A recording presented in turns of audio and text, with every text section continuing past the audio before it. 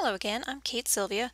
Um, today I'm just going to talk a little bit about how to add a texture to an image to give it a little bit of a creative effect. I'm going to start with uh, this saucer magnolia here and just open it up in Photoshop. I'm working in Photoshop CC, but this will work in just about any version of Photoshop, including elements, um, anywhere where you can do layers. Um, so right now I've got this uh, flower opened up and I just wanted to see what it might look like with a texture applied. So I'm going to go back to Bridge and I'm going to find a file full of textures most of which that I have purchased online. There are many sources. You can go to uh, French Kiss textures, uh, flypaper textures, um, Melissa Gallo has some painted textures, wonderful stuff out there that's available. And you can also make your own just by going out and taking pictures of uh, hardwood floors and cement and brick and uh, cotton balls and just about anything uh, that has texture to it, uh, even skies and things like this. Uh, so what I would normally come in here and do is uh, choose a texture, just find something that I think might look good, and so I'm just going to grab this one, open it up, and there it is. Now in uh, Photoshop and Elements you have the ability to combine photos so that's what we're going to do here. I'm going to select the Move tool by typing the letter V and it's also available up here in your tool menu and I'm going to click on my image and drag it. I haven't let go. I'm going to highlight the other photo. Still have not let go.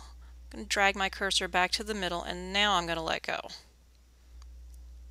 Okay, so now I've got one image on top of the other. Now, the images were not the same size, so I'm going to go Command T. There we go. And I get this bounding box.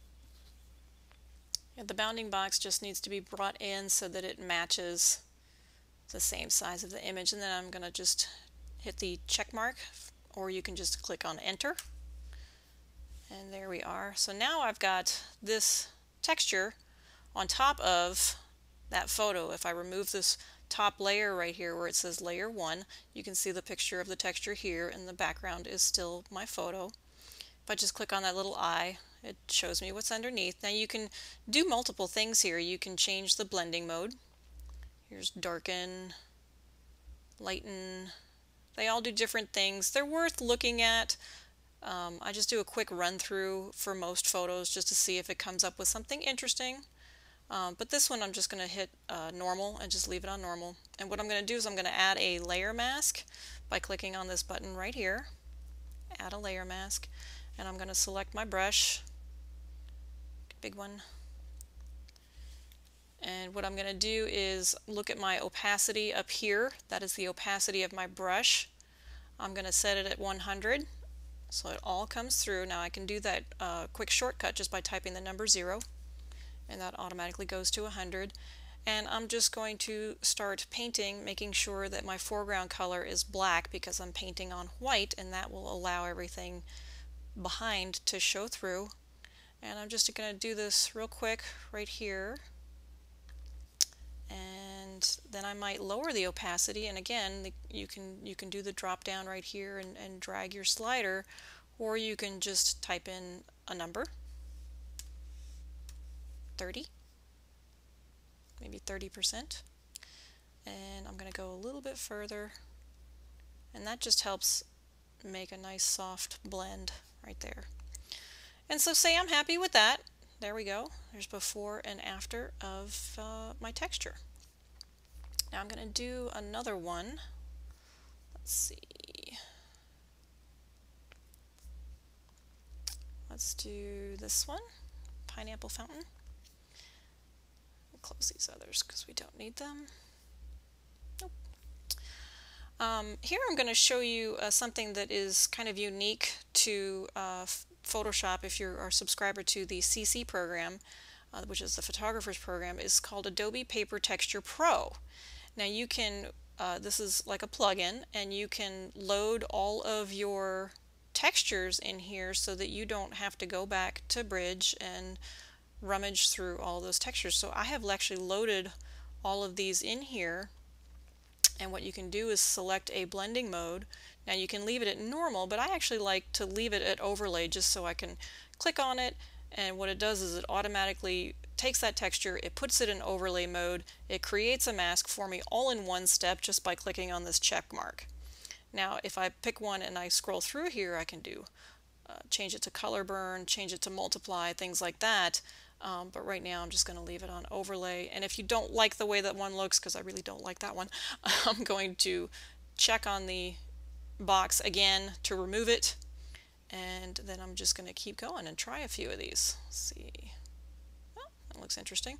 And the nice thing about this is that you can come in here and uh, do several at the same time. Like I kind of like Smoky Dusk, that's what that one is called right there, in the overlay mode. And so I might leave that, but I might actually say, well, what if I add yet another one? How about this one? Nah, maybe that one. And so here you can actually stack multiple effects on top of each other. Say I like this. Now this one I can change the blending mode. Hard light, soft light, something like that. Maybe multiply, that gets really dark. Screen, really bright. And again, normal with a brush. I could do the same thing like I did before. Brush that out, maybe 30%. I'm just playing. Anyway. Uh, but the Adobe paper texture is uh, a neat thing to have. I'm going to get rid of that one. I actually like the original. Like this. Not bad. Um, but yeah, if, if you have a, a subscription to Photoshop CC, um, it's a it's a really nice benefit. And then again, that's Adobe Paper Texture Pro. I believe you have to have the um, Adobe Exchange plugin in order to get that one to work. Let's get out of here. I'm going to do one more thing.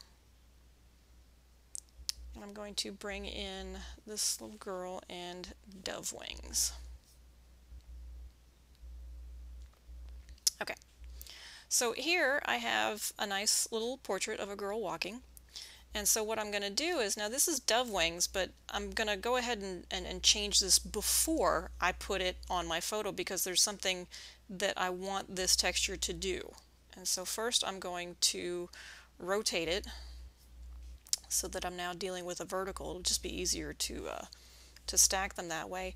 But I'm also going to um, add some contrast. And I'm going to do a levels adjustment. And all I'm going to do is add some contrast to this before I use it. There's nothing saying that you have to use textures the way that they were created. So what I'm going to do is I'm going to flatten that. I'm going to select that move tool again, grab my texture, bring it over and let go. And I'm going to check my bounding box, Command T, and they're the same size, which is nice. Say OK. And here what I'm going to do is I'm actually just going to change my blending mode to something a little bit unique something you don't use all the time, but I like the way luminosity made this image look. And so here I can see that her shape is coming through a little bit. Now again, I'm going to add a layer mask, select a big brush, and I'm going to probably do 30 or 40%. Again, I'm just typing the number 3 or 4, and I'm going to allow a little bit of this through. Like that. Maybe shrink my brush a little bit and hit it again. So just a little bit more detail.